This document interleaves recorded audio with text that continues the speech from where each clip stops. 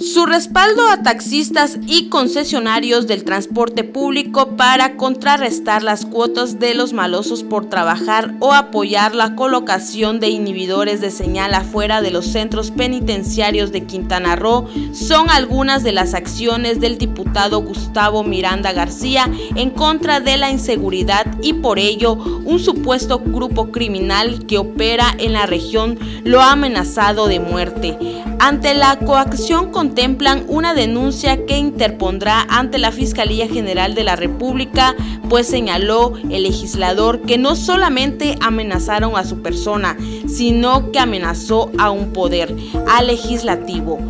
hecho por el cual llegará hasta las últimas consecuencias legales. Las amenazas obedecen a reacciones propias de los diferentes trabajos que realiza como diputado y que perjudican intereses de personas o grupos que atentan contra el orden y la seguridad de un Estado como Quintana Roo.